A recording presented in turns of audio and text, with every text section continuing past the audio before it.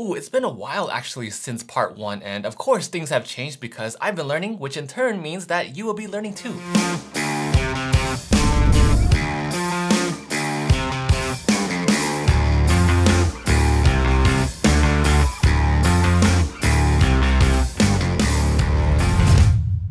So here's part one, I'll link it up here and down there if you haven't seen that one.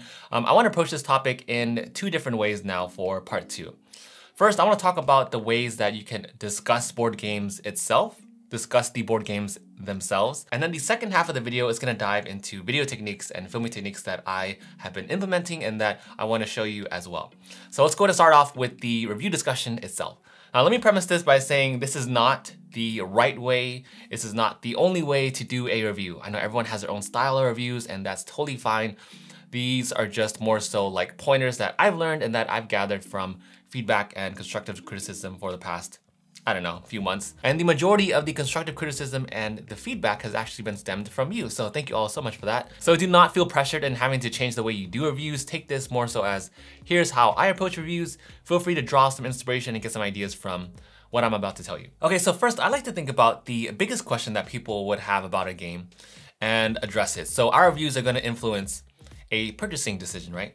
So I think it's very helpful to tackle like the one big question about a game. Usually it has to deal with gameplay and more specifically, it has to deal with whether a mechanism is too finicky to be fun or if a gameplay is lacking something. So for instance, one of my latest reviews was from Red Rising.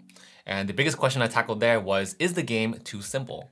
For Bloodstone, it's a game that is epic, you know, it's huge on scale, and I was wondering, is it practical to play for two players. I think it's helpful to at least consider what players would be most concerned about before buying a game and therefore that's one way we can add structure to our reviews is to think about one focused big question and then kind of address that as we talk about the game.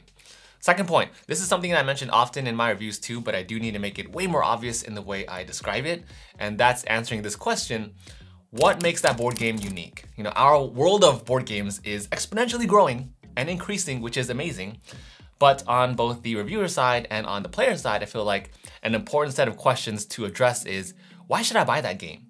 What is making that game unique? What makes it stand out? You know, what mechanic is distinguishable from all the other hundreds of games that are releasing this month on Kickstarter, on retail, wherever they're releasing? Ultimately, when I'm playing the game that I'm going to be reviewing, and as I'm structuring my review, I'm always thinking about what makes this game different from every other game out there. Third point, and I would love to hear your opinions about this, please feel free to comment down below.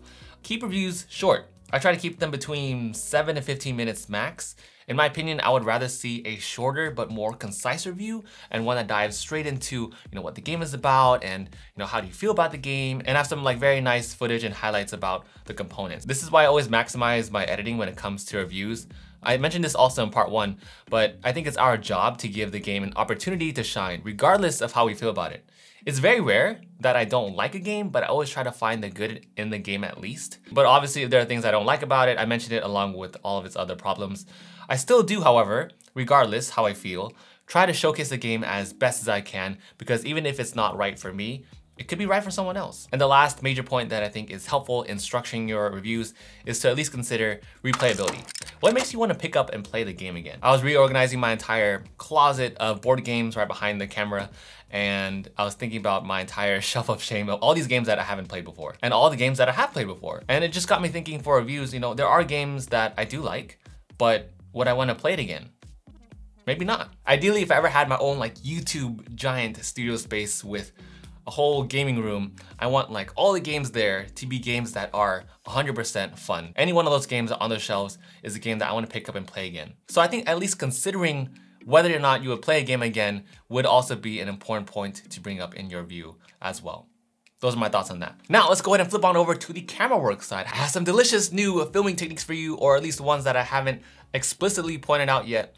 And here are four new camera techniques for you to try out, or at least new camera perspectives to try out when you are overlaying your B-roll. Number one is the point of view shot. So this one is where your camera is following your hand as you're moving pieces around the board. And I love doing this shot because it makes the viewer feel more connected with you. And it also feels like as if they're the ones who are playing the game. You'll see more of these kinds of shots not only in the upcoming reviews, but also as I show you more playthroughs coming to both my channel and on Rahdo's channel. I have done it before in like the root gameplay, but I'm going to be implementing more of these going forward. Now, number two is the overview shot. I actually see this shot missing in a lot of reviews, and I think it's important because for people that are interested in the game that you're talking about, I think A, we should know how much space that this game is taking because we all have different gaming spaces. And B, I wanna see everything that's included in the box. So for the overview shot, I like to set up the box right in the middle because it is the focus. And then the main board, if the game has one, or like player boards, right in the front. And then everything else can just accent the side. All the miniatures, cards, dice, tokens, everything else can just be filling up all the negative space. It's basically how the game would be set up if it was actually gameplay, or at least organized in a way to compartmentalize and showcase all the components that are coming in the board game. Now that leads me to filming tip number three.